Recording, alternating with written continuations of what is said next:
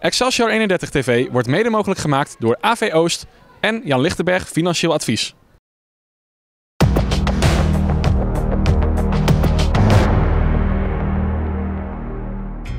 Goed dat je kijkt naar de serie Koppen zonder noppen. In deze aflevering het tweede deel van het interview met Michel Jansen. De 55-jarige hoofdopleidingen bij Sportclub Heerenveen was in het verleden zowel als speler en als trainer actief bij de grootmachten in het Twentse amateurvoetbal. Ook bij Excelsior 31 heeft Michel een mooi verleden. Hij was actief op de Koerbelt als speler en als trainer. Ja, als je praat over amateurvoetbal, uh, ja, zeg maar, heb ik, uh, ja, heb ik, heb ik wel, wel het geluk gehad dat ik, en ik maak er even twee van, dat ik bij de twee mooiste amateurclubs, ja. Ik denk twee van de mooiste amateurclubs van niet alleen in de regio, maar misschien wel uh, landelijk, heb mogen werken. Dus Excelsior was fenomenaal. nou, neem alleen de accommodatie, destijds ook, ook de ambitie. Ja, en daarna nog, uh, maar daar gaan we straks dan ook nog wel even naartoe, denk ik, uh, HC Hardenberg. Ja, ja, Dat, dat, dat zijn in mijn beleving twee van de meest mooie amateurclubs, die, uh, zeker op zaterdagniveau. Als je destijds in, in onze regio al in praatte, dan had je HSC 21, Kwik 20, Stevo en, en dan zeg maar in dit geval HC Hardenberg en, en ja, absoluut Excelsior 31. Dat, dat was de crème de la crème in onze regio kwam jij gelijk um, als trainer en speler bij Excelsior? Of werd jij eerst alleen maar speler? Hoe zat dat nee, precies? ik ben, uh, ik, moet, ik moet, dat was destijds kon dat ook. Ik, uh, ik had natuurlijk een sportopleiding. En, en uh, uiteindelijk Cor Oddermans, die, dat was de eerste die mij, mij benaderde. Van, goh, is, is misschien Excelsior iets van jou? En dan was het in de combinatie van, zeg maar, een beetje Cor was dan de hoofdjeugdopleiding en ik kwam dan in de rol van de onderbouw coördineren en daarnaast voetballen in het eerste. En ook een van de belangrijkste stappen in mijn leven geweest, wat mij ook heel erg gevormd heeft, is uiteindelijk dat ik daarnaast ging werken bij Van Losser Installaties. Ja. Dus Gerrit was toen ook, ook de voorzitter van, van Excelsior. En ja, weet je, als je met dat soort mensen um, hebt mogen samenwerken, uh, ja, dan verrijkt je, dat verrijkt je leven. Dat, dat zijn mensen die, die, die, die, die mij ook hebben la laten zien dat knetterhard werken, ergens voor gaan. Uh, als je ergens voor gaat, dan ook niet voor, voor, voor, voor, voor 50%, maar voor 200%. Ja, weet je, dat, dat heeft mij ook, ook voor een groot gedeelte gevormd bij, bij Excelsior. Maar daar dus begonnen met, met, met die kleine ukkies. Dus, ja, uh, ja, maar even als speler, in, welke, in, in, welke selectie kwam jij terecht? Poeh, ehm, wat was het niveau destijds? Bastiaan Schuitert, ja. René Klein-Horsman. Wij speelden volgens mij derde klasse toen ik, toen ik binnenkwam. Uh, Henk Dangermond, de gebroeders Beltman. Uh, volgens mij hadden we ook nog Bernd Raafhest. Gerald Jansen als aankomend uh, zeg maar, ja. talent. Dus ja. ik zat op mijn retour en, en Gerald Jansen. Ja. Dus ja, dat, dat was wel een beetje... hoe heet Wimpy Gerritsen? hoe heet zijn broer? Arjan. Arjan Gerritsen. Ja. ja nou, dat begon, dat begon eigenlijk, dat was wel mooi. Die had een andere beleving van sport. Dat is, nu, is, nu lach je erom. Maar weet je, Arjan Gerritsen, die kwam ook, weet je, dat was bizar. Dan, dan, dan kwam hij binnen en dan had hij s'morgens nog gebeurd. En dan, Ja. en dan uh, was het een broodje kro- kroket met mayonaise achter de koers. En dan was, Ja. was veld op. En ja, dat soort dingen. Ja, dat zijn Ja. bijzondere... Ja, zeker. Eh, Michel, ik heb jou destijds eh, natuurlijk ook zien spelen. eh, in je periode als speler bij Excelsior. Ehm, ja, het klinkt te gek als ik zeg van dat ik iets Koemansachtig in jou zag. Ehm werd je daar wel eens mee vergeleken? Uh, jawel, maar ik moet eerlijk zijn, dat was, dat, dat was wel op dat moment. Weet je wel, het mooiste mooi was toen ook dat RTVO's zat er voorzichtig aan te komen. Dus er werden af en toe wat wedstrijdbeelden kreeg je dan op, op RTVO's. Dat was toen, uh, volgens mij begon dat toen destijds een beetje. En ja, dat, was, dat klopte wel. En, en niet dat ik me met, met hem wil vergelijken. Maar nee, maar volgens mij had jij een, een, goed schot in je benen. Ja, ik had een goede linker. Ja. Hij dan een ja. rechter en ik had een goede linker. Ja. En, en op, op mijn niveau uh, zou dat op kunnen gaan. Ik was ook wel om dat moment, je bent al wat ouder, dus je schuift steeds verder naar achteren. Dus ik kwam ook achterin te staan. Dus en, en ja, ik, ik, ik loste dingen vaak, vaak vanuit inzicht op, want ik was niet meer de snelste. Dus, uh, en dat was ook de reden uiteindelijk dat, dat ik erachter kwam van, het wordt tijd om te stoppen. Ik vergeet nooit weer dat ik uh, s'avonds uh, naar RTVO's keek en mijzelf zag voetbal. En toen ook echt het gevoel kreeg van, jongen, dit moet je niet langer meer willen. Dit, uh, dit, is, dit is einde oefening. Dus uh, daarom ben ik ook al op een redelijke jonge leeftijd, 30 jaar ben ik gestopt. Ik had ook echt heel veel problemen met mijn enkels. Een beetje ja. Van Basten syndroom. Maar vergelijk met Koeman, ja, weet je, ik, ik, je doet me veel te veel eer aan. Dat, dat moet ik eerlijk zeggen. Maar weet je, Nou ja. de manier waarop ik speelde, dat, dat ja, kan ik hem wel koppelen. Ehm, wat waren jouw, jouw specifieke kwaliteiten dan? Eh, we hebben het net al gezegd, hè? Een, goed schot, Ja. eh, een vergelijking al gemaakt. Maar Die, die heb je bij Excelsior niet gezien. Ik was, eh, ik was, was zeg maar, eh, toen ik bij Excelsior kwam, was ik echt al een beetje op mijn retour. Dus eh, ik was volgens mij een jaar of 28, 29 toen ik bij Excelsior kwam. En, en mijn kracht lag echt, eh, ik was een hele tengere, tengere speler. Ja. Ik had een gigantische longinhoud. Dus ik was eigenlijk een beetje wat je nu heel vaak ziet, zeg maar in die 3-5-2 systemen, was ik een ideale speler aan de zijkant. Dus de hele zijkant bestrijken. Ja, ik, ik, weet je, ik, ik, ik, ik kon maar blijven gaan. En, en ik had longen aan zijn paard. En, en, en hoe zat het daarnaast, met verbaal in, in het veld? Ja, te. Ja. Ik was eh, te verbaal. Want Ja. eh, dat werd ook wel regelmatig, eh, was ik wel een pain in the ass voor trainers. Dus ik had altijd een mening. Ik vond overal iets van. En die ventileerde ik ook. En dat werd mij niet altijd in dank afgenomen. Ja. Ehm, Michel, uiteraard horen we natuurlijk ook graag welke hoogtepunten jij hebt meegemaakt in je reizen als speler. Oeh, ja, ik heb volgens mij een paar promoties, kampioenschappen. Ehm, uiteindelijk kwamen we, volgens mij toen ik bij Excelsior stopte als speler, volgens mij zaten we toen inmiddels in de eerste klasse. Dus eh, een leuke tijd onder Peter Schulte eh, meegemaakt. Dus eh, Henry Bronswoord, ook een van mijn betere trainers geweest. Dus zeker op, op het veld. Henry was echt, echt heel goed op het veld. Eh, Peter was, was, eh, was ook goed en dan met name ook, ook het creëren van een team. Dus eh, zo pak je al, altijd weer dingen mee. Dus eh, Peter wist mij ook wel te triggeren met, en die blijft me ook altijd bij. Dan, Peter deed altijd kopspelletjes en eh, ik had een hekel aan kop. Hm. En dan, eh, dan was er altijd eh, standaard in een kopspel. En dan eh, als, eh, als je een teamgoal kreeg, dan moest je vijf keer opdrukken of tien keer opdrukken. Maar als je direct de tegenstander eh, eh, scoorde, moest jij nog een keer dubbel opdrukken. En dan ging Peter altijd bij mij staan. Dus ik lag de hele, de hele vorm lag ik op te drukken. Dus als jij Peter nog kent, groot, sterk en mij. Dus eh, dat zijn wel leuke, leuke anekdotes. Dus eh, En dan 1994. Eh, Ja. Je wordt hoofdopleidingen bij Excelsior 31. Eh, een flinke stap toch voor, voor jou, denk ik, in jouw prille trainerscarrière. ja. Ja, je Ja. praat over hoofdtrainer. ja, hoofdtrainer. Ja, ja, ja, ja. Ik, eh, zeg maar, wat, wat je, zeg maar, dat vond ik ook wel mooi. Zeg maar, eh, waar we het net over hebben gehad in de kinderschoenen. eh, eh, vond ik wel heel leuk, zeg maar, als je praat over, over de opleiding Excelsior, dat je een bijdrage hebt mogen leveren. Dus, eh, en uiteindelijk vanuit de jeugd en het voetballen. Dus eh, nou, wat ik net al zei, dat stuk van, eh, van John van Pijkeren. eh, die zag ik gisteren voor, voorbij komen in, in, in, in een drietal afleveringen. Ja. Ook met eh, koppen zonder noppen. Ja. Dus dan ga je ook weer terug van, hé hey Frek, wat heb je allemaal meegemaakt? En dan kom je weer terug bij, bij eh, John van Pijkeren, Arjan Baan, eh, of Arjan Schoten, eh, Gerwin Immink, Matthijs Oost-Indië. Ja, ga zo maar door. Dan komen allemaal namen voorbij en dan denk je, jeetje mina, ja, toen ze in de kinderschoenen stond, toen, stonden, toen heb ik ze mogen trainen. Weet je wel, dat is zo mooi als je dat dan gisteren weer voorbij ziet komen.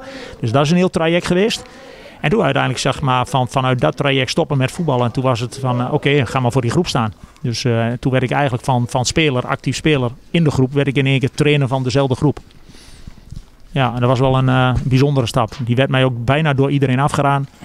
Alleen dan komt mijn karakter ook Ja, weer boven. Maar als iedereen, als, als iedereen zegt van dat moet je niet doen, dan ging ik het juist altijd wel doen. Ja, want in het eerste seizoen, want ik had het net over hoogtepunten, maar er was ook een dieptepuntje. Ehm het heeft maar één week geduurd, maar goed, in, het, in dat seizoen, eh, volgens mij eh, dat jij hoofdtrainer werd, eh leid je ook tevens de grootste nederlaag volgens mij in je hele trainerscarrière. Excelsior verliest uiteindelijk met 9-0 bij AZSV.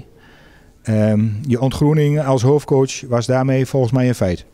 Ja, weet je, dat, dat, als je daar nog weer aan terugdenkt, dan we waren echt, vond ik, vond ik, waren een aardige ploeg. Eh, ik kan me nog herinneren, zonder excuses te willen zoeken, maar de ervaring die we hadden, die was er toen niet bij. René Klein-Hosman, André Hopster. En ja, in zo'n dag, weet je, dan speel je daar en alles wat mis kan gaan, kan misgaan. En je ziet een, een groep eh, nou, met, met een eigenlijk best nog wel onervaren hoofdtrainer eh, en een onervaren groep. En zie je, zie je daar compleet door het ijs zakken. Dus, en, en wij verliezen daar met, met 9-0. Ik weet nog met uh, Johan Seppenwold in de goal. Ook een hele jonge, talentvolle keeper destijds. Ik vergeet ook nog nooit meer dat, dat na de tijd uh, iedereen Johan Seppenwoude wou spreken. En dat, dat blijft me ook altijd bij. Ik zeg, je mag alleen met mij praten. Dus ik vang de klappen op. Dat, dat, en je praat niet met selectieleen. Je praat zeker niet met de keeper. Dus uh, ja, dat, dat, vergeet ik nooit meer. Maar als er een moment is geweest dat je eigenlijk zeg maar, uh, nou, dat complex aanzetten sfeer. Dat je zegt van, nou, er, uh, we maken even een, een noorduitgang en we gaan even een tunneltje ja, ja, onder het veld door en we gaan snel naar de bus. Dan was dat wel dat moment. Die ongroening, dat, dat klopte. Daar ben ik echt... Maar ook daar, weet je, daar word je alleen maar sterker van. Dat soort dingen, dat vormt je uiteindelijk. Ja, want de week erna, ja, ja, was, app, was appeltje eitje. Appeltje eitje, appeltje, ja. eitje, ja. ja. Dat uh, was uh, thuis. CSV Apeldoorn. Ja, ja, vergeet ik ook nooit weer. Ach man, hou ook. Meneer Dangeremond pakt binnen een paar minuten. Volgens mij, uh, ik denk dat binnen vijf minuten was dat, dat hij een rode kaart pakt. Dus we komen met tien man. Nou, die week ervoor met 9-0 verloren. En ja, hoe we het hebben gedaan, dat weet ik nog niet. Maar we wonnen die wedstrijd uiteindelijk met 2-1. En, en dat was ook wel een keerpunt. Ik, ja, ik weet ook 100% zeker als we daar die wedstrijd weer hadden verloren, dat, uh, ja, Excelsior was toch ook wel een club waar vrij snel druk op zat. Ik, ik kan me nog herinneren dat Henry, Henry Bronsvoort destijds eens een keer zei van... Bij Excelsior wordt al onrustig uit door de week eens een keer een oefenwedstrijdje verliest. En, en dat is me ook altijd bijgebleven. En als ik dan kijk bij de clubs waar ik overal daarna heb gewerkt... Ja, is Excelsior wel, wel een, een echt een club waar, waar veel druk op zit, waar altijd gepresteerd moet worden. Dus ja, dat heeft mij ook wel gevormd. En, en ja, deze wedstrijd was wel heel belangrijk voor, uh, voor het vervolg van, van zeg maar mijn trainerscarrière. Want het had daar ook zomaar mis kunnen gaan. Ja. En dan kun je altijd nog wel weer herstellen ergens, maar dan zul je waarschijnlijk een andere weg bewandelen dan ik nu heb bewandeld. In de periode dat jij dus uh, hoofdopleiding uh, was bij Excelsior, probeerde jij die lat best wel hoger te leggen. Um, maar dat ging niet zonder uh, de nodige kritiek uh, oh, man, bij Excelsior. Op. ja. ja, ik weet nog dat, uh, weet je, dat was ook het mooie aan, aan, aan, aan Gerrit van Losser. Gerrit, die, nou, die, we hadden een gesprek met Cor erbij. Ja, en dan komt mijn passie, passie. En die passie zit toch echt in opleiding en jeugdspelers kansen geven. Maar ook, ook gewoon talenten al willen herkennen. En, en ja, wat je toen ook al zag, en dat is helaas nog steeds zo, dat men vaak kiest voor de spelers waar je uh, het meeste rendement mee hebt, maar niet de spelers die het beste kunnen voetballen. Dus ik had een half jaar de tijd om de kat uit de boom te kijken. En dat vergeet ik ook nooit weer. Zeg Gerrit, uh, nou, uh, wat gaan we doen? Ik zeg, ja, ik zeg, we moeten een heleboel op de kop gooien. Ik zeg, want alles wat nu in, in, in het hoogste team zit, dat is eigenlijk niet, niet goed genoeg. Want we hebben veel, betere spelers in, in de teampjes daar rondlopen. Nou, dan moet je dat veranderen. Ik nou, prima, met jou zeggen gaan we dat doen. Maar ja, als je jochies erbij haalt, nou, ik, ik noemde ze net al, met, met John van Pijkeren, uh, uh, Arjan Schoten, uh, Gerwin Emming, Matthijs Oost-Indië, Bart Slagman niet te vergeten. En ik, waarschijnlijk vergeet ik er nog een heleboel. Ik, ik en denk van, jeetje mina, dat was een helft job. Want, want we speelden in een competitie met, met, met Kwik 20, met ON. Ja, en ik begon. En ik begon met een groepje. En ik had wel een specifieke manier van werken. Dus mijn keeper mocht de bal in wedstrijden niet uittrappen. Want ze moet leren voetbal. En van een bal wegtrappen leert niemand voetbal. Dus ja, als je dat niet gewend bent. Dus wij verloren in die eerste fase verloren de wedstrijd met 16-1 van Kwik 20. Met um, voor mij 12, 13, 1 of 0 van Oranje Nassau. En dus ja, ik kreeg de criticasters, die stonden al klaar van. Nou, wat is dit van people? Wat, wat, wat, wat, wat, een clown is dit? Nou, uh, net voor de tijd ook nog even met jullie over gehad. Nou, bijvoorbeeld van allemaal Gerwin Imming. Gerwin Imming was een hele talentvolle rechtsbuiten. Maar ook wel een paar die, die, die er iets van vond. En altijd daar stond waar Gerwin speelde. Nou, en dan, ja, dan denk ik, shit, hoe kan ik daar wat aan doen? Nou, uh, als Gerwin zijn vader niet was, speelde hij altijd veel beter. Dus op een gegeven moment denk ik, hoe kan ik dat aanpakken? Nou, een keer uh, Gerwin rechtsbuiten, Pa stond er. Ik denk, weet je wat, ik zet hem naar de andere kant. Dus Gerwin naar de, naar de andere kant. En Pa liep zo achter de goal langs, naar de andere kant. En op het moment dat hij daar was, ik zeg, ga Gerwin weer terug naar de rechtsbuiten. Nou ja, dan weet je wat dat... Ja, ze zijn niet eigenlijk ook in reizen niet. Die denken, nou ja, wat... Dus uh, weet je, dat soort gevechtjes en, en dat soort... soort, soort uh, ja, gevechten ging je eigenlijk aan met, met, met de omgeving. Dus, en net wat je zegt, ja, ik had, ik had de uitslag, die werkt niet mee had je ook nog, uh, zeg maar, uh, ja, hoe heet onze paparazzi. ja, ja. dus uh, ja, die, die, die, die vond er ook vooral iets van. En, en, en ik moet eerlijk zeggen, die was altijd wel heel eerlijk op het moment. Die vond wat hij vond op dat moment. En nou, dan weer iedereen dat we het over Jan Zanderman hebben. Ja. En die zag ook na verloop van tijd van, hey Frek, maar die manier van werken, die werpt vruchten af. Dus de wedstrijd die we voor de winter uh, zeg maar uh, dik verloren, die uitslag werd steeds kleiner. En we gingen van ploegen waar we voor de winter de kansloos afgingen, gingen we na de winter gewoon gelijk spelen, winnen. Ja. Nou, een momentje met, met ON thuis en of het nou de winnende was of de gelijkmaker was, dat weet ik niet exact meer. Maar Matthijs Oost-Indië, dus ON voor de winter dik verliezen en na de winter of 1-1 gelijk of 1-0 gewonnen. Weet je, dat soort dingen. Dus men zag dat de manier van werken, dat, dat, dat ging vruchten afwerpen. En dan weet ik eigenlijk ook nog, ook nog wel, dat, dat zit ook nog in mijn hoofd, van dat Jan Sanderman ooit eens een keer heeft geschreven in, in voor mij, ja, zo'n reizend krantje van, eh, jongens, als je voetbal wil zien, dan moet je niet smiddags komen, maar dan moet je s'morgens bij de onder, eh, zeg maar, bij, bij de D1 komen kijken. Dus ja, die Ja. was ook wel weer zo ver om dat dan ook weer te benoemen. Ja. Dus, eh, maar dat soort gevechten en dat soort strijd, ja, daar zat ik in. En nu nog steeds. Ja.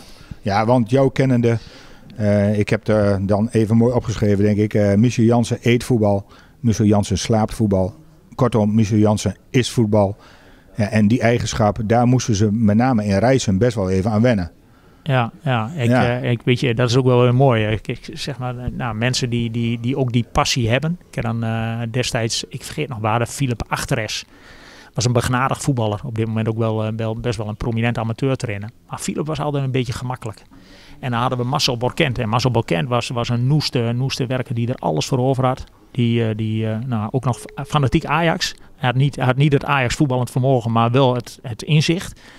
En, en die haalde ik toen bij het eerste. Die ging voetballen en, en weet je, daar, daar herkende ik iets in. En, en dat contact is ook altijd gebleven. En ik vind het ook fantastisch dat bijvoorbeeld Marcel nu zeg maar bij Excelsior die kaart trekt. En je ziet wat er gebeurt. En dat zal waarschijnlijk ook nog steeds weer met weerstand gaan. Maar je ziet Excelsior is een van de weinige clubs van, van als jij met eigen jeugd naar een hoog niveau wil. Ja, heel simpel, moet je meer doen. Dus op dit moment ook, weet je, vier keer trainen, extra krachttraining. Ja, en je ziet bij Excelsior op dit moment ook weer mooi van jeugdspelers breken door. Het is een mooie mix, jeugd buitenaf en, en ja, doen het hartstikke goed. En weet je, dat was destijds ook mijn, mijn visie. Weet je wel, van op het hoogste niveau doe je het nooit alleen maar met eigen jongens. Maar als jij de jeugd goed begeleidt, kom je in heel en dan, dan kun je zeg maar... WAC had volgens mij toen zo'n zo'n principe van de helft plus moet uit de eigen jeugd zijn. En dan ben ik ervan overtuigd dat clubs als HC, Excelsior, nu nog steeds, dat je, dat je, dat je een heel eind komt. En dat vind ik wel mooi, dat die passie die je toen al zag bij bijvoorbeeld Marcel Borkent, ja, dat je die nu ook weer terugziet in de jeugdopleiding van Excelsior. En ja, dat, dat, dat geeft mij wel heel veel voldoening. In 1997 wordt Michel aangesteld als hoofdtrainer. Volgende week meer daarover. Heel graag tot dan! Excelsior 31 TV wordt mede mogelijk gemaakt door AV Oost en Jan Lichtenberg Financieel Advies.